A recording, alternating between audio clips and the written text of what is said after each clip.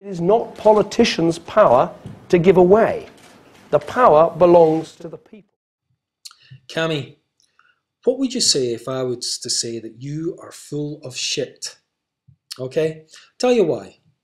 You say it's not the politician's power to give away because the power belongs to the people. Okay, I have one single question of you, Mr. PM.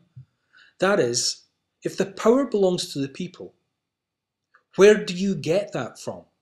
Where, from where can you say the power belongs to the people, i.e., sovereignty belongs to the people? Where do you get it from? Because, on the other hand, in this interview or in this press speech, you say, We have no constitution. You say the power doesn't belong to you. You're suggesting the power doesn't belong to the Queen, because the Queen takes an oath to the people anyhow, as you take an oath to her. You're saying the power belongs to the people. So where do you get that from, mate, if not a constitution?